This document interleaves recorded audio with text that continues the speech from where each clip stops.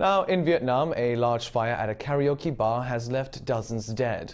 Vietnamese media have reported that at least 32 were killed and 11 injured in a fire at a three-story building near Ho Chi Minh City on late Tuesday night. The fire started on the second floor before rapidly moving up to the third floor, where flammable material fueled the blaze. Now, the cause of the fire is still being investigated. An official said that roughly 60 people were in the building at the time of the start of the fire. This marks the most deadly blaze in a series of similar incidents that have fueled concerns over safety standards. In August, three firefighters were killed at another karaoke bar fire in Hanoi.